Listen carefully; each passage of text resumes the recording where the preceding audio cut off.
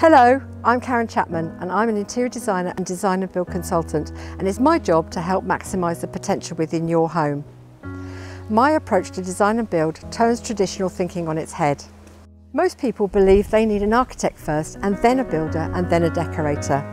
And if there's any money left, they might approach someone like me to help put some finishing touches together. But think about your new home for a minute.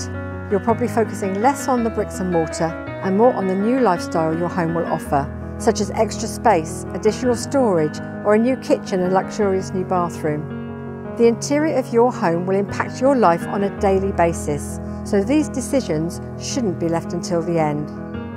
I believe in considering how a family will live within the new space and then work from the inside out to ensure that these important elements and features are built in from day one.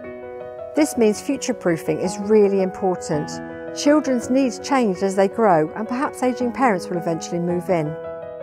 Lighting is one of the most important integrated features. It has the power to shape a space and it can be so much more interesting than a smattering of spotlights and a few table lamps. If you're in the early stages of a project, we work with inspirational architects who have already embraced this approach. If you already have plans, we can work collaboratively with your architect or builder to design built-in elements, ensuring they're not backtracking or retrofitted, because this is costly and slows progress. To find out how our services could benefit you and your new home, book a complimentary no obligation discovery call with me, Karen Chapman from Renaissance Interiors, Design with the Personal Touch.